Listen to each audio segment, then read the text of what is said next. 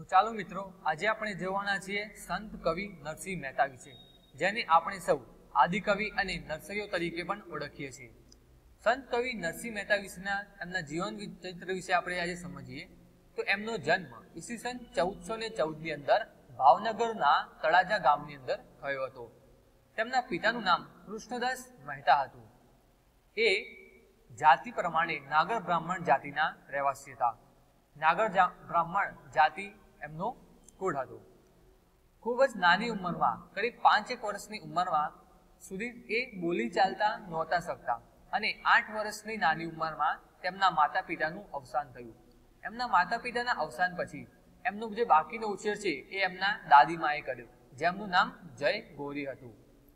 એમના લગ્ન ઈસવીસન ચૌદસો ને ઓગણત્રીસમાં માણેકબાઈ નામના સ્ત્રી સાથે થયા, જે આગળ જઈને તેમના ધર્મપત્ની બન્યા. હવે આગળ એમના જીવન ચરિત્ર વિશે આગળ આપણે જોઈએ એમની કેટલીક કૃતિઓ વિશે આજે આપણે જોઈએ. તો સૌથી પહેલી એમની કૃતિ છે એ છે કુંવરબાઈનું મામેરું, જે ખૂબ જ પ્રચલિત છે. આપણને ખ્યાલ છે એમના કેટલી વિકટ પરિસ્થિતિ એમના ઘરની અંદર આવી જ પડે છે અને એ સમયે ભગવાન કૃષ્ણ પોતે મામેરું લઈને આવતા હોય છે. બીજું છે સામરસાનો વિવાહ. ભક્તિપદો, હિંડોળા અને પુત્ર વિવાહ. આ પાંચ એમની મુખ્ય કૃતિઓ છે. જેના વિશે આજે પણ આપણે સૌ સમજીએ છીએ, જાણીએ છીએ એના વિશે. અને આપણા અભ્યાસક્રમમાં પણ એના વિશે ઘણું બધું આવતું હોય છે. તો કુંવરબાઈનું મામેરથી લઈને પુત્ર વિવાહ. એમના પુત્રી હતા કુંવરબાઈ અને પુત્ર હતા સામરસા. આ બંનેના વિવાહ વિશે પણ એમની કૃતિઓ છે. એ સિવાય ભક્તિપદો અને હિંડોળા પણ એમની કૃતિઓમાં સામેલ છે. એની આગળ જોઈએ તો પંક્તિઓ જોઈએ. તો સૌથી પ્રખ્યાત પંક્તિ છે, વૈષ્ણવજન તો તેને રે કહીએ. બાપુ, એટલે કે ગાંધીજીએ આ ભજનને બહુ જ વખાણ્યું છે અને એમને બહુ જ લોકપ્રિય હતું. એમનું બહુ જ પ્રિય ભજન જે હતું, એ હતું વૈષ્ણવજન તો તેને રે કહીએ, આપણને ખ્યાલ જ હશે. એ આ પ્રખ્યાત જે ભજન છે, આ વૈષ્ણવજન તો તેને રે કહીએ, એ ખુદ સંત કવિ નરસિંહ મહેતાની રચેલી પંક્તિ છે.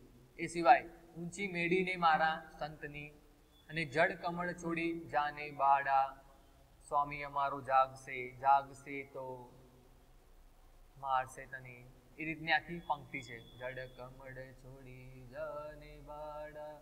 સ્વામી અમારો જાગશે જાગશે તને મારશે, મને બાળ હત્યા આ રીતની આખી પંક્તિ છે.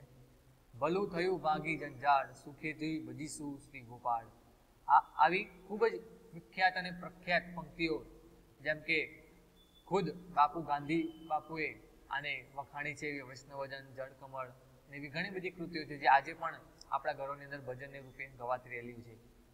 એ સિવાય એમની વિશેષતામાં જોઈએ તો એમના પુત્રી જે હતા, એ કુંવરબાઈ અને પુત્ર સામરસા એમ બે એમના બાળકો હતા. પ્રભાતી એમના ખૂબ જ લોકપ્રિય છે. એ સિવાય પદ, ભજન, વૈષ્ણવજન, પદ તેમના ખૂબ જ લોકપ્રિય સાહિત્ય છે. અને એમના પ્રભાતિયા બહુ ખાસ કરીને વખાણાય છે નરસિંહ મહેતાના.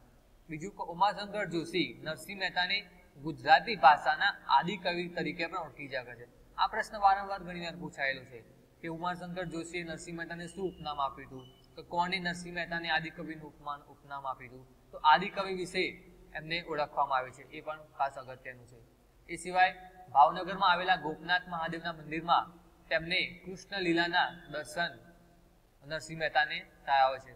પૂછી શકાય કે કઈ જગ્યાએ કયા મંદિરમાં ભગવાનના સાક્ષાત દર્શન એમ કે નરસિંહ મહેતાને થયા હતા. તેમ કે ભાવનગરમાં આવેલા ગોપનાથ મહાદેવના મંદિરમાં.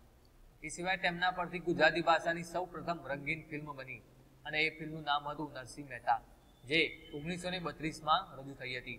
આ વસ્તુ પણ આપણે ખાસ નોંધમાં લેવાની છે. એ સિવાય એમના મૃત્યુ વિશે જોઈએ તો જુનાગઢની અંદર, માંગરોળની અંદર ઈસવીસન ચૌદસો ને એક્યાસીમાં એમનું મૃત્યુ થયું હતું. એમના સન્માનમાં જોઈએ તો ગુજરાતી ભાષાના શ્રેષ્ઠ કવિઓની યાદ તેમની યાદમાં નરસિંહ મહેતા એવોર્ડ આપવામાં આવે છે અને જેની શરૂઆત ઈસવીસન ઓગણીસો ને નવ્વાણુંમાં થઈ હતી કે નરસિંહ મહેતા એવોર્ડ. હવે આ એવોર્ડ કોઈ સરકાર દ્વારા આપવામાં નથી આવતો એટલે એ વસ્તુ પણ ખાસ જોવાની અને એની શરૂઆત ઓગણીસો ને નવ્વાણુંમાં થઈ હતી અને આ એવોર્ડ આદિકવિ નરસિંહ મહેતા સાહિત્ય નિધિ ટ્રસ્ટ દ્વારા આપવામાં આવે છે. નરસિંહ મહેતા સાહિત્ય નિધિ ટ્રસ્ટ દ્વારા કોઈ સરકાર દ્વારા આ એવોર્ડ આપવામાં આવતો નથી, પણ સાહિત્ય નિધિ ટ્રસ્ટ દ્વારા આ એવોર્ડ આપવામાં આવે છે. એ વસ્તુ ખાસ નોંધમાં લેવાની રહેશે મિત્રો. તો આજે આપણે જોયું નરસિંહ મહેતા વિશે. આ વીડિયો તમને કેવો લાગ્યો? લાઈક કોમેન્ટ કરો કોમેન્ટ કરો શેર કરો વિડીયોઝને. અને પ્લીઝ જેટલું બની શકે એટલું આની જુઓ. Thank you so much for watching